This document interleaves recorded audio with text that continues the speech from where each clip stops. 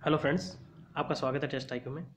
Friends इस video में discuss करेंगे थर्मोडाइनमिक्स का most important topic heat engine Carnot cycle heat pump और रेफ्रिजरेशन साइकिल इन चारों चीज़ों को मैंने एक साथ इसलिए लिया है क्योंकि काफ़ी स्टूडेंट को कन्फ्यूज़न रहता है।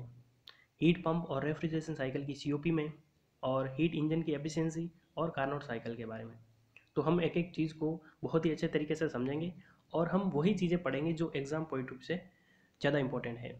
तो वीडियो आपके लिए काफ़ी ज़्यादा इंपॉर्टेंट होने वाला है, क्योंकि यदि आप थर्मोडाइनमिक्स पढ़ोगे या फिर आरएसी पढ़ोगे, चाहे आप पावर प्लांट पढ़ोगे तो कार्नोट साइकिल तो सब जगह आता ही है और हीट इंजन तो इसलिए आपको लास्ट तक ज़रूर देखना है। छोटा सा टॉपिक है तो चलिए शुरू करते हैं। सबसे पहले हम बात करते हैं हीट इंजन की। हीट इंजन क्या होता है? कोई भी जो इंजन होता है, वो उसका काम क्या होता है? वो जो केमिकल एनर्जी होती है फ्यूल की, उसको वर्क में प्रोड्यूस करता है। Heat engine is a system that convert heat or thermal energy or chemical energy to mechanical energy, which can be used do mechanical work. देखिए, इंजन में क्या होता है? एक सोर्स होता है जिसका टेम्परेचर ज़्यादा होता है। ठीक है? जिससे हम क्या लेते हैं? हीट लेते हैं। और इंजन क्या करता है? आउटपुट देता है एनर्जी को इसमें और कुछ एनर्जी लॉस होती है जिसको वो रिजेक्ट कर देता है। और जहाँ पे रिजेक्ट करता है, उसको हम बोलते हैं सिंक तो यहाँ पे आपको पता होना चाहिए सोर्स क्या होता है? हायर टेम्परेचर का जो बॉडी होता है उसे हम बोलते हैं सोर्स और लोअर टेम्परेचर को सिंक बोलते हैं। और आउटपुट एनर्जी किसके रूप में होगी? वर्क डन के रूप में होगी। तो यहाँ पे आपको इंजन हीट इंजन का बेसिक चीज़ पता चली होगी। आगे हम देखते हैं। अब यहाँ पे हम बात करते हैं एफिशिएंसी ऑफ़ हीट इंजन तो एफिशिएंसी क्या होती है? आपको पता है एफिशिएंसी होती है कि हमने कितना इनपुट दिया, उसके कंपैरिजन में आउटपुट क्या आया? यानी कि आउटपुट अपॉन इनपुट हमारा आउटपुट क्या है? आउटपुट हमारा है वर्क डन, और इनपुट क्या है? Heat supply. ठीक है, ये तो आपको हो गई एफिशिएंसी। अब हम बात करते हैं, यहाँ पे हीट बैलेंस कर लेते हैं। हीट बैलेंस क्या करेंगे? हम हीट सप्लाई कितनी कर रहे हैं? क्यू वन कर रहे हैं इज़ इक्वल्स टू ये किसमें जा रही है? कुछ वर्क प्रोड्यूस हो रहा है, और कुछ हीट लॉस हो रही है किसमें? सिंक में जा रही है। यानी कि Q one equals to W plus Q two यह हम कह सकते हैं वर्क डन जो है, वो आपका Q one minus Q two हो जाएगा। ये चीज़ आपको पता चल गई। तो अब हम वर्क डन की जगह Q one minus Q two put कर सकते हैं और ये आपकी हीट सप्लाई कितनी है? क्यू वन है। तो यहाँ पे एफिशिएंसी क्या हो जाएगी? एफिशिएंसी हो जाएगी आपके वर्क डन यानी कि Q one minus Q two upon Q one या हम कह सकते हैं one minus Q two by Q one यानी कहने का मतलब है कि वन माइनस क्यू टू क्या है? क्यू रिजेक्शन है और क्यू सप्लाई है। तो एफिशिएंसी क्या हो जाएगी? One minus Q rejection upon Q supply. तो यहाँ पे आपको हीट इंजन की एफिशिएंसी पता चली होगी। आगे हम देखते हैं। अब हम बात करेंगे कार्नोट साइकिल की। तो कार्नोट साइकिल का सबसे पहले मैं बेसिक चीज़ बता देता हूँ। कार्नोट साइकिल एक आइडियल साइकिल है। आइडियल साइकिल यानी कि ये प्रैक्टिकल इसका पॉसिबल नहीं है। ये आइडियल कंडीशन में लिया गया है। अब हम थोड़ी सी बात कर लेते हैं थ्योरी थ्योरी की। The Carnot cycle is a theoretical ideal thermodynamic cycle proposed by French physicist Sadi Carnot in 1824 ये ज़्यादा आपके लिए इंपॉर्टेंट नहीं है, बस कारनोट जिसका नाम है, उसी ने साइकिल दिया था। It provide an upper limit on the efficiency that any classical thermodynamics engine can achieve during a conversion of heat into work it is not an actual thermodynamic cycle but it is a theoretical construct यानी कहने का मतलब है कि जो Carnot cycle होता है, उसकी एफिशिएंसी मैक्सिमम होती है। यानी कि कोई भी प्रैक्टिकल साइकिल होगा, उसकी एफिशिएंसी कार्नोट साइकिल से ज़्यादा नहीं हो सकती। तो कार कार्नोट ने जो है थ्योरेटिकल साइकिल बनाया, यानी कि एक इमेजिनरी साइकिल बनाया। उसमें कौन कौन से प्रोसेस होते हैं, वो हम आगे डिस्कस करते हैं। तो यहाँ पे मैंने पीवी और टीएस डायग्राम कार्नोट साइकिल का बना दिया है, ताकि आपको पता चले कि कौन कौन से प्रोसेस होते हैं। इसमें चार प्रोसेस होते हैं, दो आइसोथर्मल और दो एडियाबेटिक एग्ज़ाम में सीधा क्वेश्चन पूछा जाता है कि कार्नोट साइकिल के अंदर कौन कौन से प्रोसेस होते हैं। तो यहाँ पे देखिए वन से टू जो है आपका हीट एडिशन हो रहा है, इसके साथ में एक्सपांसन भी हो रहा है और टेम्परेचर कॉन्स्टेंट है। तो यहाँ पे जो है ये आइसोथर्मल है, ठीक है? तो वन से टू क्या हो जाएगा? आइसोथर्मल हीट एडिशन फिर उसके बाद में एडियाबेटिक एक्सपांसन उसके बाद में हीट रिजेक्शन होगा आइसोथर्मल और फिर उसके बाद में एडियाबेटिक कंप्रेशन हो जाएगा। तो दो प्रोसेस हो गए और यदि हम इसको पीवी और पीवी के अंदर हमने देख लिया टीएस डायग्राम भी आपको पता होना चाहिए। देखिए वन से टू क्या है? आइसोथर्मल है तो ये आपका आइसोथर्मल आ गया। फिर टू टू थ्री क्या है? एडियाबेटिक एक्सपांसन तो एडियाबेटिक प्रोसेस में क्या होता है? एंट्रोपी कॉन्स्टेंट होती है। तो टू टू थ्री एंट्रोपी यहाँ पे कॉन्स्टेंट आ जाएगी। फिर यहाँ पे हीट रिजेक्शन हो रहा है। तो कॉन्स्टेंट टेम्परेचर पे हो रहा है और फिर एडियाबेटिक कंप्रेशन हो जाएगा। तो ये पी और टी डायग्राम आपको याद रखना है एग्ज़ाम में। कभी कभी डायग्राम भी दे देते हैं। अब हम बात करते हैं efficiency of Carnot cycle Carnot cycle is a complete reversible cycle इसका एक एक प्रोसेस जो होता है, वो रिवर्सिबल होता है। So heat is a function of temperature only efficiency of Carnot cycle does not depend on the working substance यानी कि कार्नोट साइकिल एक ऐसा साइकिल है, जिसकी एफिशिएंसी सिर्फ़ और सिर्फ़ टेम्परेचर पर डिपेंड करती है। यानी कि सोर्स का टेम्परेचर और सिंक के टेम्परेचर पर डिपेंड करती हैं। वर्किंग साइकिल पर नहीं डिपेंड करती। यानी कि कोई भी फ्यूल हो, चाहे पेट्रोल हो डीजल हो, उस पर डिपेंड नहीं करती। वो सिर्फ़ टेम्परेचर पर डिपेंड करती है। यानी कि दो साइकिल मान लो, एक डीजल साइकिल है और एक ऑटो साइकिल है। उन दोनों में यदि सोर्स का टेम्परेचर और सिंक का टेम्परेचर सेम है तो कार्नोट एफिशिएंसी दोनों की सेम होगी। इसका मतलब वो वर्किंग सब्सटेंस पे डिपेंड नहीं करता। तो एफिशिएंसी क्या होती है? Work done upon heat supply और Q highest minus Q lowest upon Q highest तो यहाँ पे एफिशिएंसी हो जाएगी T highest minus T lowest upon T highest या हम कह सकते हैं one minus T lowest upon T highest. ये एफिशिएंसी होती है कार्नोट की और ये मैक्सिमम एफिशिएंसी होती है। जितनी भी आप साइकिल पढ़ते हैं, उन सब में ये मैक्सिमम एफिशिएंसी होती है।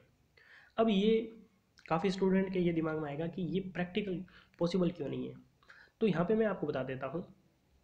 जैसे वन टू टू प्रोसेस जो हैं, वो आपका आइसोथर्मल है, ठीक है?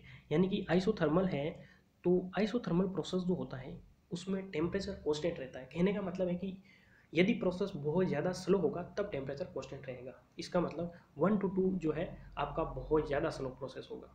उसके बाद में टू टू थ्री जो प्रोसेस है, यानी कि एडियाबेटिक एक्सपांसन है तो एडियाबेटिक प्रोसेस बहुत ज़्यादा फास्ट होता है। बहुत ज़्यादा फास्ट होने का मतलब है कि वहाँ पे हीट रिजेक्शन ज़ीरो होता है। इतना फास्ट हो जाएगा कि हीट रिजेक्शन होगा ही नहीं। तो इसलिए वहाँ पे एडियाबेटिक प्रोसेस होता है। यानी कि एक प्रोसेस बहुत ज़्यादा स्लो है, फिर एकदम फास्ट है, फिर वापस आइसोथर्मल आ जाएगा। यानी कि बहुत स्लो हो जाएगा, फिर एकदम फास्ट तो प्रैक्टिकली ये चीज़ पॉसिबल नहीं है। कई बार इंटरव्यू में ऐसा क्वेश्चन पूछ लेते हैं कि कार्नोट साइकिल पॉसिबल क्यों नहीं है? तो प्रैक्टिकली इसलिए पॉसिबल नहीं है। अब हम बात करते हैं हीट पंप और रेफ्रिजरेशन साइकिल के बारे में। हीट पंप और रेफ्रिजरेशन जो साइकिल है, उनकी सीओपी में काफ़ी स्टूडेंट को कन्फ्यूज़न रहता है, क्योंकि सीओपी में कौन सा कब लेना है, वो हम डिस्कस करेंगे।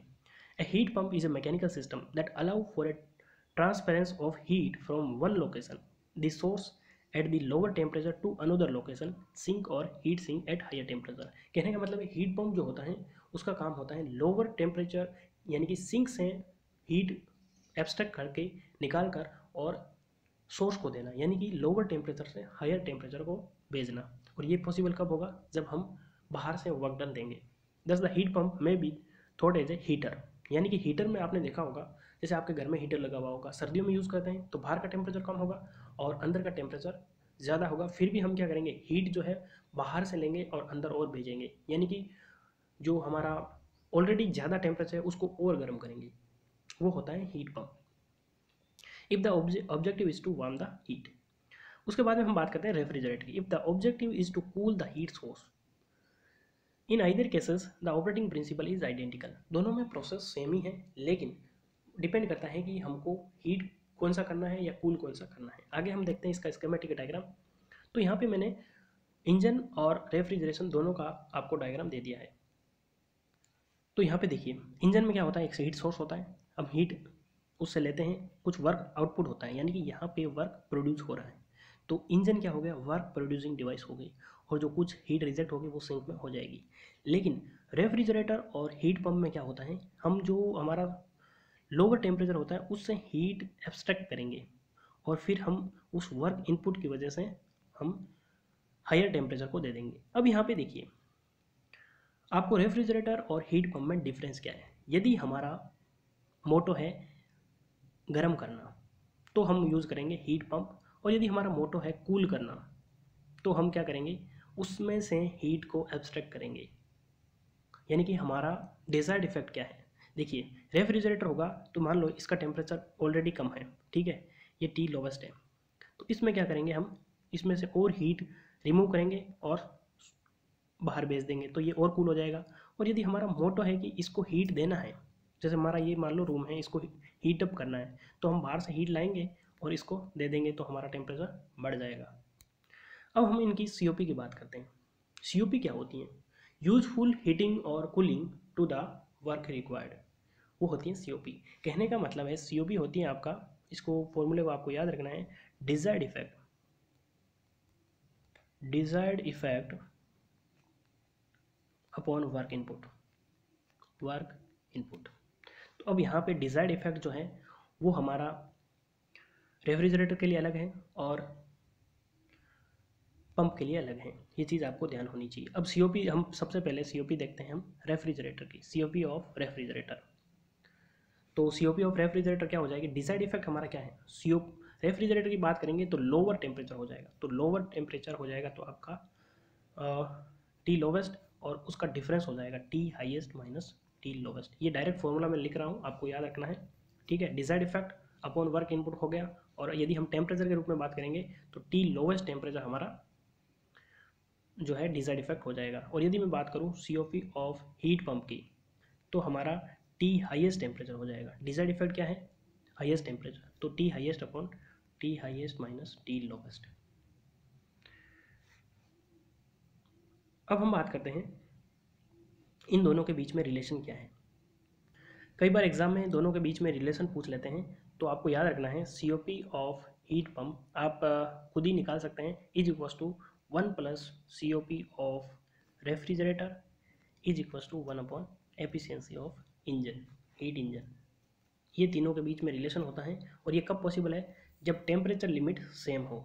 एक ऐसी कंडीशन है कि यदि टेम्परेचर लिमिट सेम है तो ये रिलेशन वैलिड होगा और ये एग्ज़ाम में बहुत बार पूछा जाता है। तो फ्रेंड्स ये था छोटा सा वीडियो आपको वीडियो कैसा लगा? कमेंट बॉक्स में ज़रूर बताना। और ये मैंने वीडियो इसलिए लिया ताकि आपको आगे न्यूमेरिकल हम करेंगे तो आपको कोई कन्फ्यूज़न ना रहे। तो यदि आपको वीडियो पसंद आता है तो वीडियो को लाइक और दोस्तों के साथ शेयर ज़रूर करें। और यदि आप चैनल पर पहली बार विज़िट कर रहे हैं तो सब्सक्राइब ज़रूर कर लें, ताकि जब भी मेरा नेक्स्ट वीडियो आए तो आपको नोटिफिकेशन मिल सके। तो वीडियो को कंप्लीट देखने के लिए धन्यवाद। मिलते हैं अगले वीडियो में। तब तक के लिए जय हिंद, जय भारत।